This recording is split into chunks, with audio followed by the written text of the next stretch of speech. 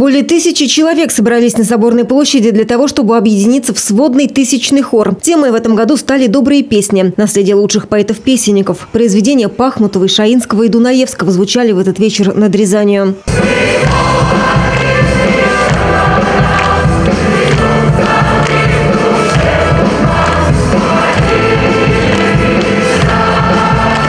Каждым годом в тысячном хоре принимают участие все больше коллективов. В этом году присутствовали представители всех муниципальных образований региона. Кроме того, в празднике музыки принял участие хор областной клинической больницы.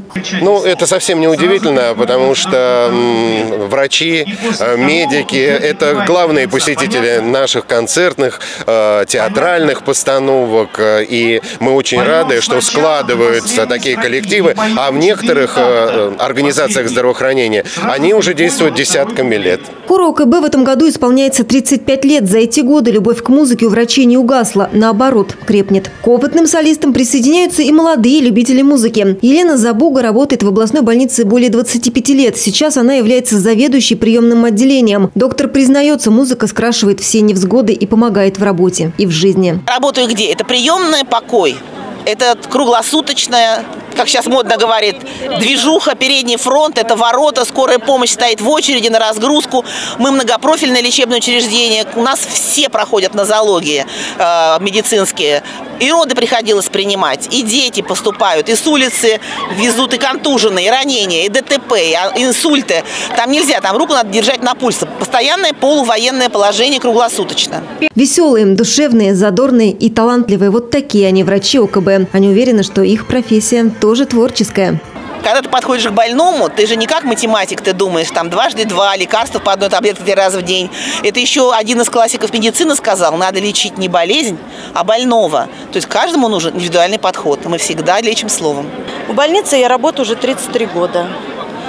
Вот, песня мне помогает. 25 лет я уже в хоре участвую. Я сейчас являюсь старостой хора. Мне песня очень помогает. Она снимает усталость, потому что бывают такие трудные дни, бывает работа напряженная. Ну, сами знаете, медицина – это есть медицина.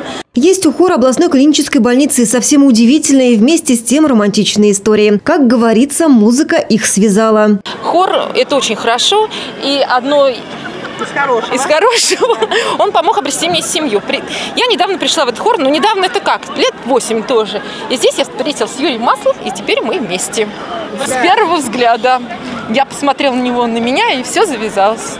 Для всех хоровых коллективов из тысячного хора музыка стала частью жизни. Именно этой частью они и поделились с рязанцами. А те, в свою очередь, оказались благодарными слушателями. Честно, очень захватывает, очень круто. Почаще бы такой проводить, если честно. Вспоминаю, что в детстве все эти песни были достаточно очень модные, а сейчас их так редко, и вот такая возможность послушать. Песни нашей молодости я тоже первый раз, хотя живу всю жизнь в Рязани. Вот. Мне очень интересно было.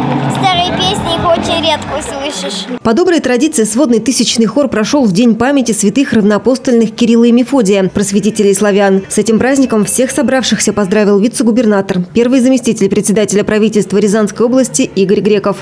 От имени губернатора Рязанской области Николая Викторовича Любимого поздравляю вас всех с Днем славянской письменности и культуры. В этот праздник мы вспоминаем великих просветителей, братьев Кирилла и Мефодия.